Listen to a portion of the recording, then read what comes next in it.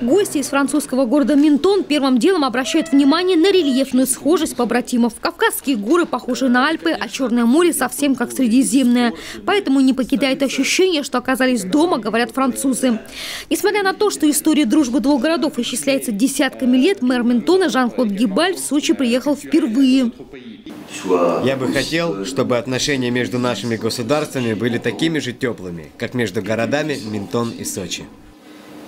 Глава Сочи Анатолий Пахомов рассказал гостям о последних изменениях в городе. Новые дороги, инфраструктура, спортивные и культурные объекты. Делегацию заинтересовали сотни ежегодных масштабных мероприятий, куда они были приглашены главой курорта. У нас очень много общего.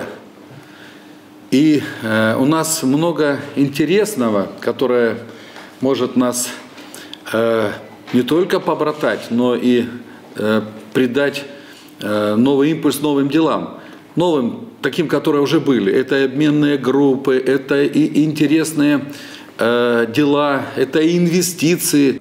Мэр Ментона заверил главу российского курорта, что обо всех событийных мероприятиях Сочи, а также лечебном потенциале он обязательно расскажет своим соотечественникам. Кстати, побратимами Сочи Ментон стали более полувека назад. Именно Ментон стал вторым городом в списке, куда сегодня включены 9 городов.